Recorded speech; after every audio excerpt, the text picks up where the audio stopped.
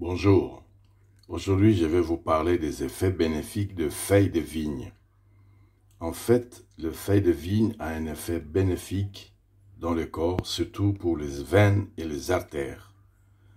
Alors, je vous conseille de pouvoir euh, prendre l'habitude de consommer de feuilles de vigne chaque jour, au moins chaque semaine, pour entretenir vos veines et vos artères.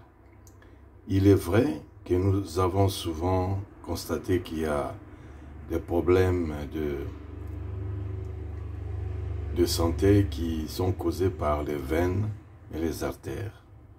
C'est pourquoi aujourd'hui donc je vous apporte cet effet bénéfique de feuilles de vigne pour pouvoir entretenir vos veines et vos artères deux fois, vous entendez des gens dire que les veines se sont éclatées au niveau des cerveaux, au niveau des cœurs, au niveau des, des jambes, au niveau de, des hanches, au niveau, hein, partout.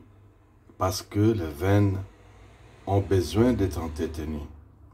Alors, à travers cette vidéo, je vous conseille de pouvoir euh, prendre soin de consommer des feuilles de vigne pour pouvoir entretenir euh, vos veines et vos artères. Les feuilles de vigne, vous pouvez les trouver dans les boutiques de, les magasins de boutiques grecques. Sinon, il y a hein, dans tous les supermarchés, vous trouverez des feuilles de vigne. Consommez-les pour entretenir votre organisme, vos veines et vos artères.